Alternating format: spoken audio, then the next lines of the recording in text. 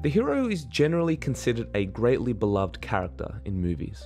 In fact, many of the most impactful movies of all time are based on the hero's journey archetype, popularized by Joseph Campbell. Star Wars, Harry Potter, Lord of the Rings, The Matrix, and any superhero movie for that matter, which all have the hero's journey embedded within the storyline.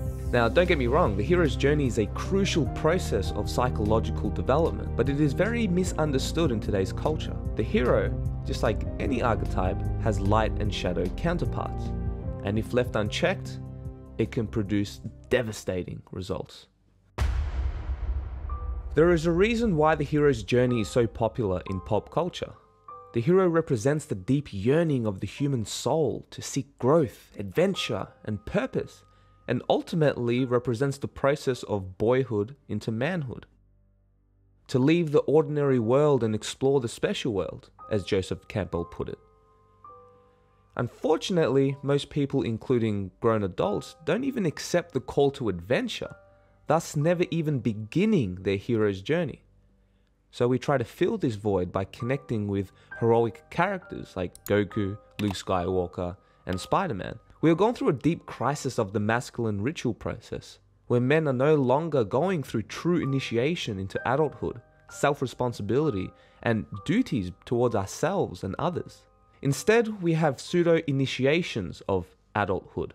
Society tells us that turning 18, getting a degree, working a job, and paying taxes magically turns us into adults. But the truth is, psychologically speaking, we are still being dominated by the polar shadows of our archetypes. Real men are not violent or hostile. This is a result of being stuck in the shadows of immature boy psychology, like the high chair tyrant who is deeply insecure about himself, so he wishes to dominate others. Most men are actually boys pretending to be men. And we are all guilty of this to some degree, including myself. And it's not necessarily our fault, as we were never shown what a mature man is actually like. Most of us do not have wise elders to guide us through our initiation from childhood into adulthood.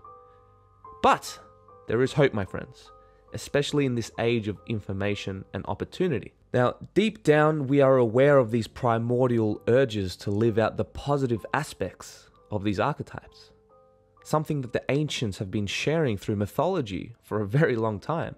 In the book, King, Warrior, Magician, Lover, it states that there are four main archetypes within immature boy psychology, which evolves into the four archetypes within mature man psychology. I understand that there are female equivalent archetypes such as Huntress, maiden, goddess, queen, etc., and that within the masculine there are feminine counterparts, which Carl Jung called the animus. But in this video we will only focus on the hero archetype and its bipolar shadows that self-sabotage us from psychological growth.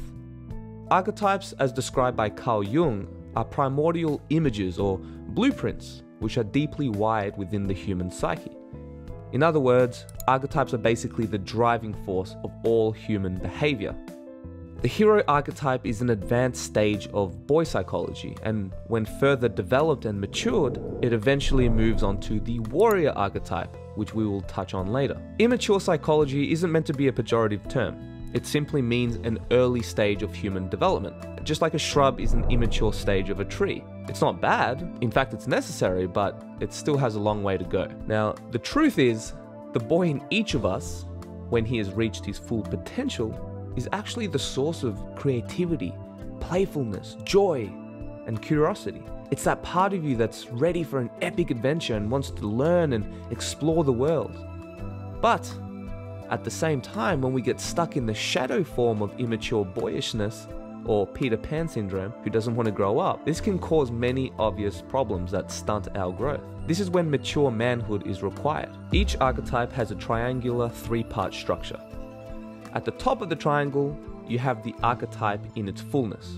This is the ideal goal of each archetype which serves us in different ways. At the bottom of the triangle, you have the dysfunctional bipolar shadow counterparts, one being the active form and the other being passive. I'll break down each main archetype in future videos, so make sure to subscribe, watch this space, but for now we will only focus on the hero archetype and its shadow counterparts. And even though the hero archetype is the most advanced form of boy psychology, when it's carried into adulthood, it actually blocks us from truly maturing. A classic example of this is in superhero mythology. Further along the hero's journey, such as Spider Man, Tony Stark, and Thor, they eventually painfully realize that their arrogant, boyish ways cause them to be blind by their own pride, and they end up seriously hurting innocent people, including their loved ones. Please, please, please, Mr. Let's Stark, have it. you don't understand. Please, this is all I have. I'm nothing without this suit. If you're nothing without this suit, then you shouldn't have it.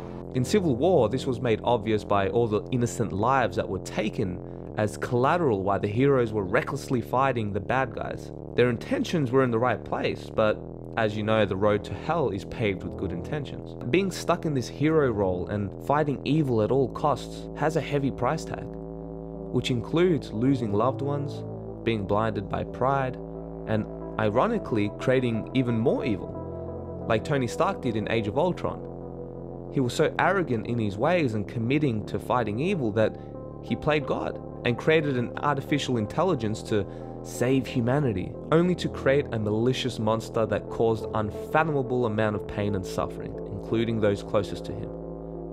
He didn't realize his own limitations. Let's go over the two bipolar shadow archetypes of the hero, which will give you a deeper insight into what I mean. These include the grandstander bully and the coward. The grandstander bully is the classic puffed out chest dude who wants to impress others by showing his superiority and manliness. And if he is challenged, his ego will go into a rage fit due to his insecurities of being a man. You want to trigger a bully? Challenge his masculinity. It's like in Back to the Future when Marty McFly was especially triggered by being called a chicken. He just couldn't back out of a challenge, which of course led him into a lot of trouble. It was only at the end of the third movie when he finally learned to integrate this particular side of his shadow. Marty, don't. Grab all the something.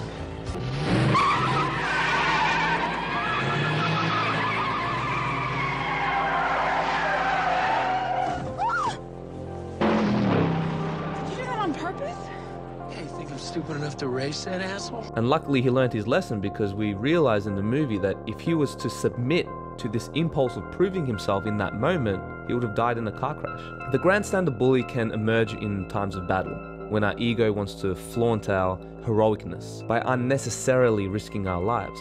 Now, in very specific situations, of course, sacrificing your life may actually be the noble and necessary thing to do. But in reality, most times, it isn't. You have to think of your friends and family and, and the suffering this will inflict. But the grandstander bully will convince you that you are doing the noble thing. But in reality, you are giving into boyish selfishness. I'm sure you've heard the term, don't be a hero. There is some level of truth to this, which I think means don't risk your life just for the sake of being brave. You might actually do more harm than good if this part of you is not kept in check. The grandstander bully believes that he's more important and is more skilled in what he really is due to his inflated ego and false sense of self. It's like trying to attack an armed robber because you play Call of Duty or you saw it in a movie. The only time that you should ever consider trying to take down an armed robber is if you are actually trained in armed combat. You can keep a level head and you know what you are actually doing. Don't risk others' well being because you want to be a hero. The grandstander bully struggles to be vulnerable and realizing his own limitations.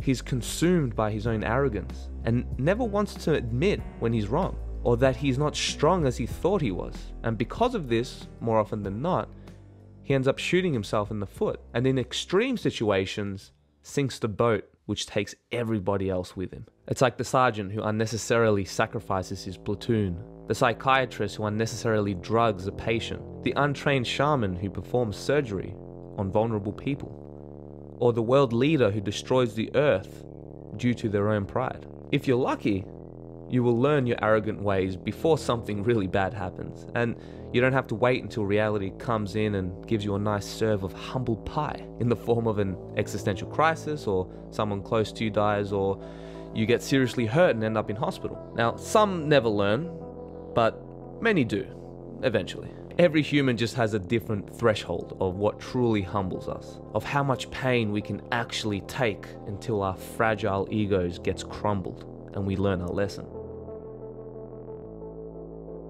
Oh man, my arrogance was through the roof, and I had to really get hyper slapped by reality excruciatingly hard to the point where my life fell apart and I was plunged into the dark abyss until I was genuinely humbled. Some of us are just more stubborn than others, I guess. Like it states in King, Warrior, Magician, Lover, the hero's downfall is that he doesn't know and is unable to acknowledge his own limitations. A boy or a man under the power of the shadow hero cannot really realize that he is a mortal being. Denial of death, the ultimate limitation on human life, is his specialty. When we do not face our true limitations, we are inflated and sooner or later, our inflation will be called to account. In other words, the debt collector will eventually come, no matter how hard you try to run away.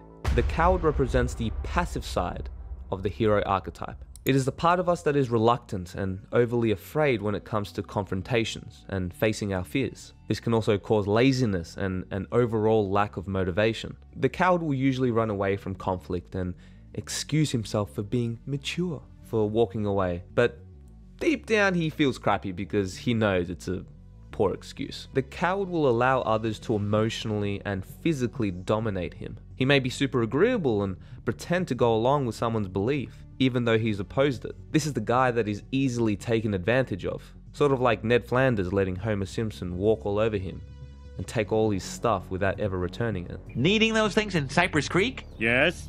Oh. Uh, Oakley dokley. Oakley dokley. However, the coward, just like any human being, can only take so much crap until the grandstander bully emerges and hulks out into physical or verbal abuse. This happened to me many times growing up. In certain situations, I was so overly anxious and, and quiet that I suppressed all the insults that came my way, and I let people take advantage of me because I hated conflict until I couldn't take it anymore. In milder situations, I was verbally abusive and said horrible things to family and friends during a fit of rage, and in the more extreme situations, I emotionally exploded and went as far as to get into physical fights. Now, to be fair, when it came to dealing with bullies, they never messed with me after that. But other times I actually hurt people who I deeply loved, and this caused some serious psychological problems. At the end of the day, verbal and physical abuse is never worth it. The wiser thing to do would have been to ground myself and build boundaries from the start, instead of allowing toxic people to disrespect me until I raged out. You may even be a friendly sweetheart who wouldn't hurt a fly, but everyone has their limits. And sometimes you may do something you truly regret, like permanently injuring someone, or in extreme situations, even take a life. This is why self awareness and integration is so important. The death of a hero in the life of a boy or a man really means that he has finally encountered his limitations. He has met the enemy, and the enemy is himself. He has met his own dark side, his very unheroic side. Like I said earlier in this video, the hero archetype is crucial for our development and holds many positive traits such as courage, pushing through boundaries, so that we may test ourselves and really see what we're made of and fulfilling our life's purpose. But eventually, you have to move on to the next level. With the death of the hero archetype comes the emergence of true humility. And this humility only comes when we learn our limitations. Not conceptually, but directly. If you're slaying dragons left, right, and center, and all you care about is fighting evil and doing quote unquote good, paradoxically, this will unconsciously create more obstacles in your life so that you can fight and conquer and prove your strength. But life isn't just about you and your individual purpose, it's much greater than that. The hero realizes that his worst enemy is himself. You realize that you were the source of most of your problems. At this point, we realize that we cannot do this by ourselves. In fact, we are nothing without our loved ones. No matter how great we thought we were. And this is a huge blow to the ego, man. Especially when you realize that the world would keep going without you. And you're actually not that special. Every time we overreach our abilities, we create chaos and destruction. And we become so blind by our foolishness that we even lead others into the dark pit without realizing it. This is when true humility comes in, when we accept that we need help from others and something beyond ourselves. We're not gods. We are but mere mortals with serious limitations. It is at this stage where we become super vulnerable. Our boy ego dies. And this, my friends, is when we become truly ready to begin our initiation into manhood. And this is only the beginning of embodying the warrior archetype, the mature evolution of the hero.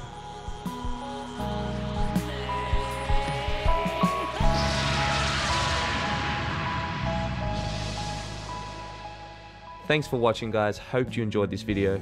We will continue this epic journey into the mature phase of the hero archetype known as the warrior as well as its bipolar shadow. And we will also delve deep into other archetypes and practical integration techniques. So make sure to subscribe and keep an eye out for future videos. Click on this video if you wish to learn more about the stages of the hero's journey, or this video if you wish to learn about the villain's journey or anti-hero's journey. And feel free to check the description box for links for relevant books that you might want to delve into. Anyways, much love and wishing you all the best on your hero's journey.